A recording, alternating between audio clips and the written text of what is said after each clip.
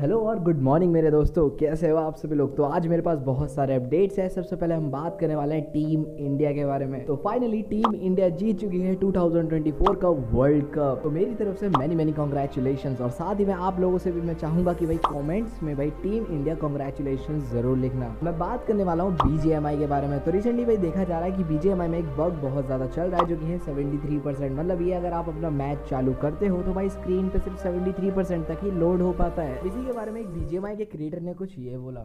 73 में क्यों रुक रहा है? हाँ देखो चैट ये 73 वाला जो सर्वर आपका हो रहा है ना, ये उन लोगों के लिए जो लोग रैंक पुश कर रहे हैं, ठीक है, उनके लिए।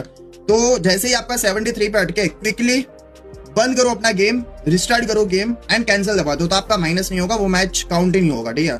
तो ये चीज़ जो भी रैंक पुश कर रहे हैं, उन तक पहुँचा दो। जैसे ही 73 पे अटक रहा है क्विकली अब टाइम मत लेना, क्योंकि तुम्हारे पास रहेगा सिर्फ़ 30 सेकंड्स 30 सेकंड्स में आपको गेम रिस्टार्ट करना है एंड वो कैंसिल पे दबाना है। अगर ये कर लिया तो हो गया आपका काम। तो आपका माइनस बच जाएगा। मतलब दस में से तुम्हारा आठ बार माइनस बच जाएगा दो बार माइनस लगेगा वैसा। सर्वर लेकर आया था तो मैंने ट्राई किया था कुछ नया और वो आ, काम आ गया था। मतलब क्विकली हमने रिस्टार्ट किया कैंसिल दबा दिया गया।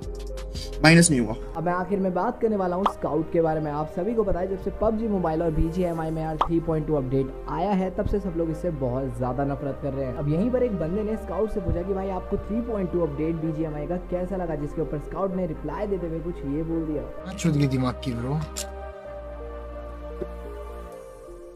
क्या लंड मोड है भाई गेम का। क्यों? मादर चौथ अरे माँ की चूत भाई ये मोड माँ की चूत ये मोड भाई नहीं खेलना है मोड मेरे को। कल से हम लोग पेड़ कसम खेलेंगे नौ बजे। ये झाटू मोड नहीं खेलूँगा मैं। तो आपको स्काउट का रिप्लाई कैसा लगा मुझे कमेंट्स में ज़रूर बताना। वीडियो अच्छी लगती है तो लाइक करके चैनल को सब्सक्राइब ज़रूर करना और हाँ बाजू वाला बेल आइकन ज़रूर दबाना ताकि आपको फ्यूचर अपडेट्स जल्दी मिल सके।